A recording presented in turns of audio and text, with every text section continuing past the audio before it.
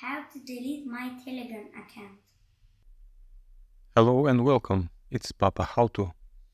Today I'll show you how to delete your Telegram account permanently. There are two simple methods to delete your Telegram account and you'll see them right away. First thing, you need to open your Telegram app. Then you go to the settings. You scroll down to the privacy and security and you're going down one of the sections before bots and website, there delete my account section.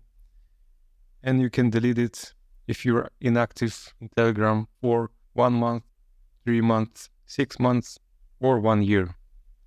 But it won't delete your account immediately.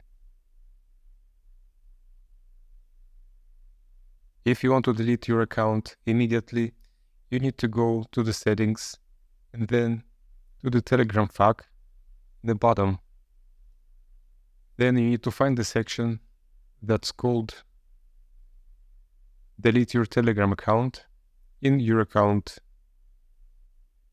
So the question is, how do I delete my Telegram account?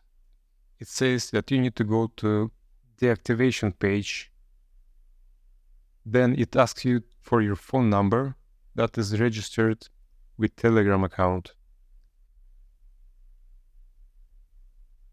After you input your telephone number, it will send you code to your messages, not SMS, but Telegram messages.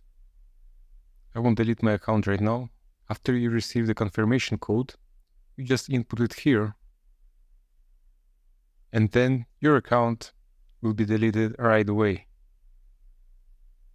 Thank you for watching. I hope this video helped you. If you have other questions how to do anything, you can just use the search on my YouTube channel.